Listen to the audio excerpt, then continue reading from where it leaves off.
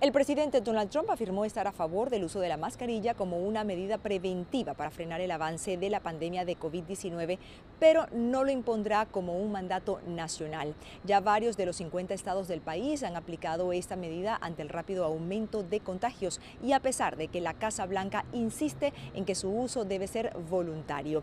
El mundo sobrepasó durante el fin de semana los 14 millones de casos confirmados de coronavirus y Estados Unidos sigue siendo el epicentro de la pandemia con más de 3.700.000 personas infectadas y más de 140.000 fallecidos por la enfermedad. Esto de acuerdo a la Universidad Johns Hopkins. La situación comienza a ser insostenible en algunas entidades como California, Texas y Florida, donde las autoridades evalúan medidas para contener la pandemia, aunque una orden para que la gente se quede en casa todavía no está entre las opciones, como lo señaló el alcalde del condado de Miami-Dade, Francis Suárez.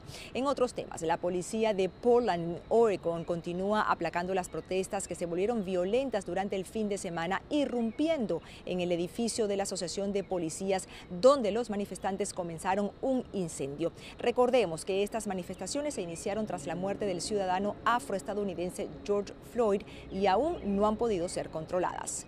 Desde Washington, con la agenda informativa del día, soy Natalí Saras Guaitero de La Voz de América.